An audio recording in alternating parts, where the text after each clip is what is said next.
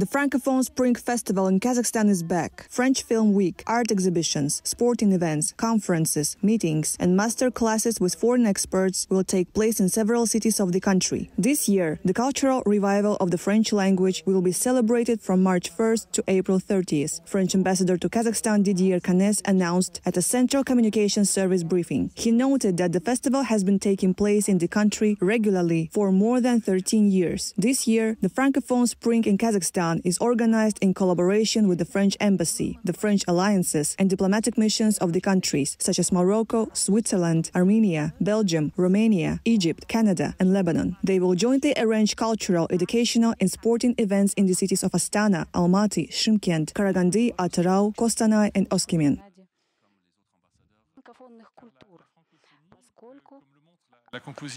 Today, more than 320 million people worldwide speak French. It is a big family. French is an official language in 29 countries. It is the fifth most spoken language in the world, the fourth most used on the internet, and the second most studied globally after English. This festival aims to celebrate the richness of the French language and the diversity of Francophone cultures.